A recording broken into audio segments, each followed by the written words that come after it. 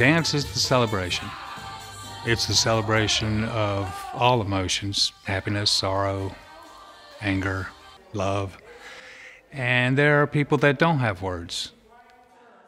And that's actually why I began dance myself. My name is Rob Petrus, and I'm the founder of Dogtown Dance Theater. One and do it me. One and two. The space was intended to fill a gap. And there's a lot of artists that graduate from VCU and a lot of artists that don't have anything to do with them that are here in Richmond, but they have no space. Get your feet a little bit uh. The space was a gymnasium that served a high school and a middle school. And then we had to redo virtually everything inside of it. The local artists started to show, and eventually one of those artists is the executive director that I hired to replace myself. I am Jess Burgess. I'm the artistic and executive director here at Dogtown Dance Theater, located in Manchester, Richmond. And Dogtown's mission is to provide a home and the resources for independent artists so that they can succeed and thrive. When we first opened in 2010, um, we were home to about maybe seven to 15 different artists. We've grown tremendously since then, and um, now here in 2019, we serve over 350 different artists. We don't operate like a traditional dance studio or dance school, if you will. Um, Dogtown does not collect tuition from any students that come in through our doors.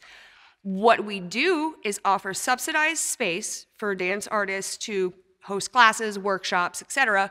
And then they can in turn determine their own fate in terms of what is their price points that they want to charge students, you know, how many classes a week do they want to offer, etc. When we first opened in 2010, um, we were home to about maybe seven to 15 different artists. We've grown tremendously since then, and um, now here in 2019, we serve over 350 different artists. You know, traditional dance such as ballet, modern, but then we also have cultural dance, African, flamenco, salsa, Filipino. Um, we also have a very robust hip hop um, program here.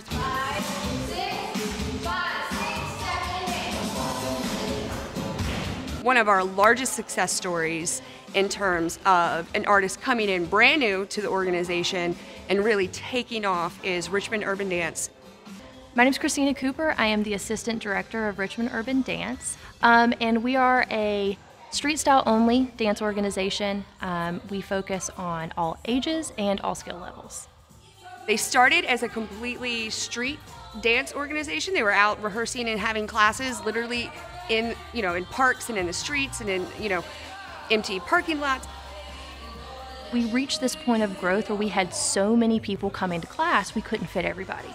So we found Dogtown.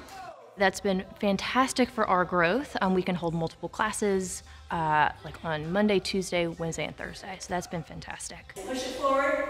Now take your right hand and bend both knees and dip, dip, dip. Now Artists, a lot of time, and especially dance artists, performing artists, are focusing on their technique. They're focusing on their performing skills, on um, you know their pedagogy, on choreography. Very rarely are artists concerned with the the entrepreneurial side or the business aspect of being a successful artist. And so our major program is called the Artist Resource Program. And what that program does, it's year round, and it provides support in marketing and PR and helping just build awareness for their classes, their performances, their programs. It can also include technical support for self production in the main stage theater. So it really does spread a lot um, of, of different skill sets that we're trying to help artists develop and create.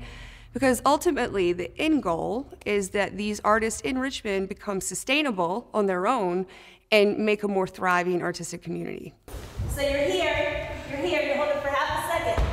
Put it down just like this, come back up to here. Dance is this universal language. Um, so we've had some success stories with our kids. So for the younger kids, let's say someone's getting bullied or someone's having a hard time fitting in and kind of finding that group, they have found that group with us. Um, very inclusive, very supportive. Then with adults, it's the same thing. We still have that yearning for belongingness and we want to try new things. Um, and we're not there to be professional dancers, we just want to have fun. Dance is a really unique and fundamental component. It teaches creativity, it cre- teaches team building, um, you know, working with, you know, others and discipline.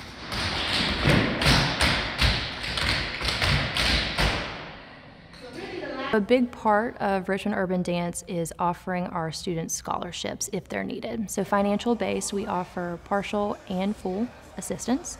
Um, we want to make sure we're giving kids and adults the opportunity um, to come to class, even if their current financial situation does not afford them that. Um, so, that's a big part of what we do. So, the more we grow, the more scholarships we can offer. Over 80% of her students are on scholarship. And that to me is, is, is is what it's all about. Art is something that needs to be consumed by society, and I think by being a nonprofit, it allows us to really serve the artists and the audiences that we that we do serve in a unique way, based on the fact that every dollar that comes in through through our doors, um, be it through the Artist Resource Program, grant funding, or donors, those dollars are going right back into the artists to make sure that they get the resources they need to be successful. There's too much talent that leaves Richmond because there aren't places for them to work. And that's what it was all about creating that space. Dogtown is, you know, trying to build a sense of this this community within artists so that we can work together, we can collaborate, we can produce work, we can we can share work, we can share space to ultimately just make the community a, a, a better place to live, a better place to grow up, a, you know, a place that, that folks want to come to.